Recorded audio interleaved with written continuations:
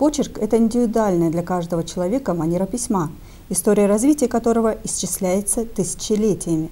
На протяжении многих лет люди пытались определить характер человека по почерку, так как он напрямую связан с работой мозга. Сейчас в мире цифровых технологий взрослым проще напечатать текст, нежели потратить время и написать его вручную.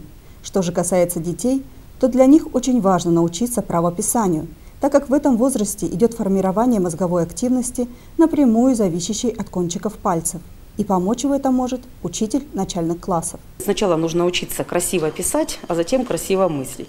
И вот формирование почерка – это действительно долгий планомерный процесс.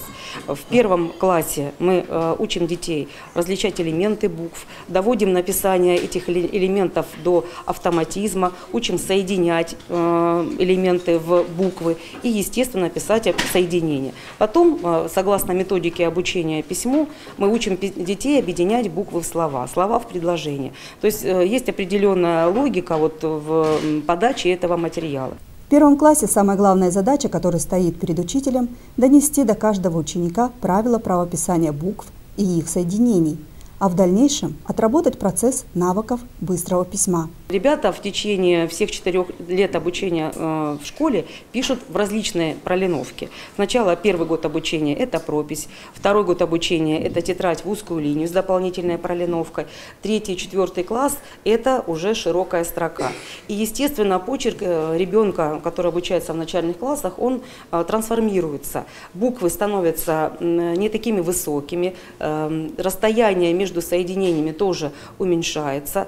И э, самое сложное вот в этот период – это сохранить наклон у почерка, который формируется, потому что нет вспомогательных линий, которые позволяют этот процесс регулировать. Большинство родителей считают, что ребенок должен идти в первый класс полностью подготовленный, уметь читать и писать.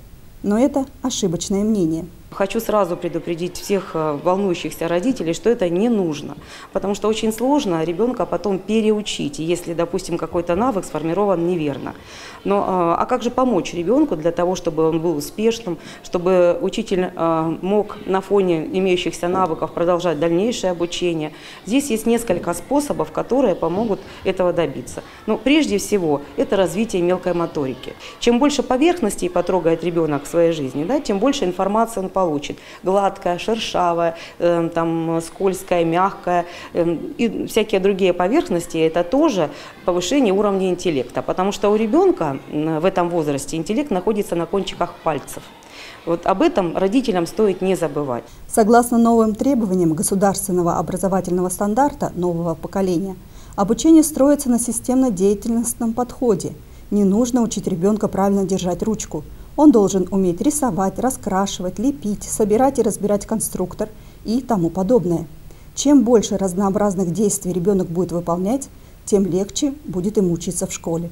Сегодня мы э, на уроке с ребятами э, использовали такие приемы, которые повышают уровень э, каллиграфии, как штриховка. В самых первых прописях, с которыми мы работали, много было работ связано с эм, выработкой умения аккуратно э, разукрасить какой-то объект или, не отрывая руки, провести какой-то элемент. Но нужно сказать, что по всем образовательным программам, которые работают в нашем городе, э, разработаны специализированные тетради, это прописи.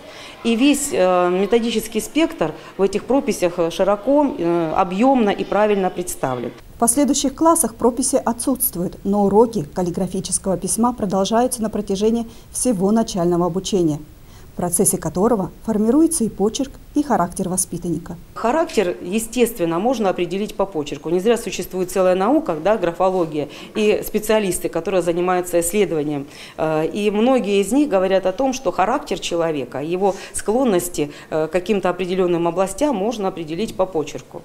Э, и даже какие-то психические особенности тоже определяются по почерку. Так что почерк это, конечно, очень здорово, интересно, это целая наука. С первого класса учителя учат детей правильно писать буквы, аккуратно выводя их на доске, точно соблюдать расстояние, наклоны и прочие законы правописания.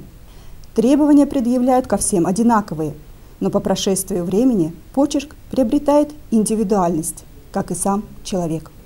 Ивана Пажельцев, Владимир Чекунов, Азов Инфо.